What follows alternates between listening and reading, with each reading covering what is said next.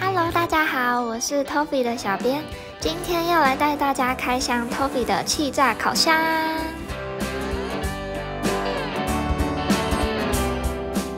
这次推出的是 Toffee 最经典的代表色——绿色，清新可爱的淡绿色，还有复古与时尚的外形，颜值绝对是烤箱界的天花板。不止外形超美，内装也是很完善。这台烤箱呢，它随附了机械盘，吊在烤箱底部的食材也不用担心很难清洁哦。再来是烤盘，像比较容易出水及油脂的食材，就可以使用烤盘烹调。那这是烤网，可以用在气炸料理、烤鱼等等。烤架则可以用在像是烤番薯或是烤蛋糕这类有模具的料理上。还有随附一个把手，取出食材的时候就不用另外再找隔热手套啦。说明书跟保护书也附在里面喽。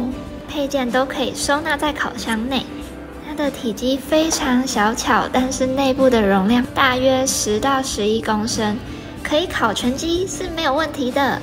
加水口的盖子可以加入十 CC 的水，蒸汽效果烤出来的吐司面包外酥内软，超好吃。那功能方面，它有五种模式，分别是气炸、烘烤、烧烤、慢烤、发酵。那发酵呢，它是原厂设定的四十度，其他模式你可以调整六十到两百三十度。时间的话呢，是零到六十分钟。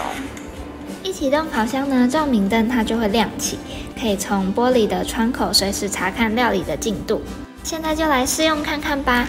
像小编要气炸炸物的话，我就会使用烤网加烤盘，因为气炸会将炸物的油逼出来，那下方的烤盘刚好可以接住油。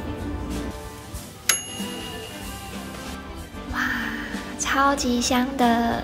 有这台半夜肚子饿就不用跑出去买宵夜啦，只要冰箱多备几包冷冻炸物，超方便的。除了当气炸锅外，它的烤箱功能也很强大哦，是可以分上下火的。那因为它是低温六十度起，所以想要自己烤果干的话，就是一台干果机啦。另外有烘焙兴趣的朋友们，这台还可以当做发酵箱，一机多用，CP 值是不是非常的高呢？以上就是今天的开箱啦。如果有想要看更多这一台气炸烤箱可以做什么的话，可以追踪 Toffee 的 Instagram 和 Facebook 粉砖，小编常常都会 po 文哦。那如果有其他想看的，也可以留言跟我们说啦。拜拜。